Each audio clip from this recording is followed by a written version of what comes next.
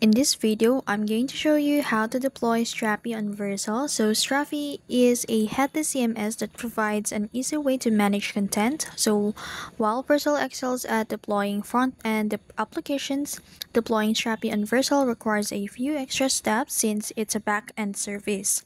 So first of all, I couldn't show you some steps in here due to restrictions here in Strapi, but listen carefully as I explain each step. So first of all, let's all know what are the prerequisite of Strapi. So you need to install the node.js, the version 18 or the latest version.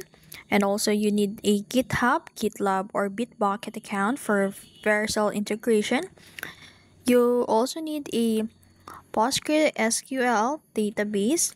For example, Supabase, Railway, or Neon since Vercel doesn't support SQLite and the last one is a Vercel account.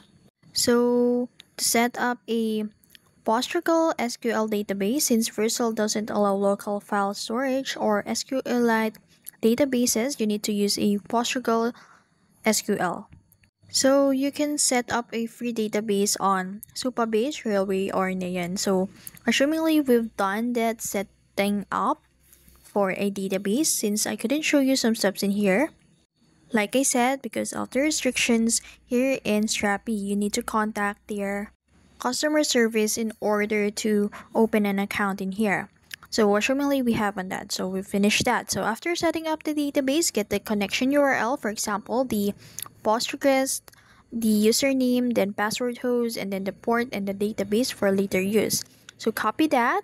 And then in here, once you have an account here in Strapi and already access the main interface of the Strapi, configure Strapi for productions, so clone your Strapi project and update the database configuration. So in order to do that, just open the config database.js or config database.ts if using TypeScript and modify it to use PostgreSQL.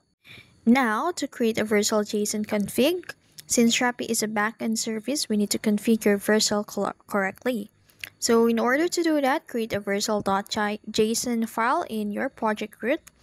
And after that, um, we have some options, two options to deploy it to Vercel. So the first one is installing the Vercel in your command line using command line and then running the deployment command. And the second option is uh, via GitHub or Vercel dashboard via pushing your Strapi project to a GitHub repository. So you'll need to go to the Vercel dashboard and import the GitHub repo and push it to the repository. And that's it. That's how you deploy a Strapi on Vercel.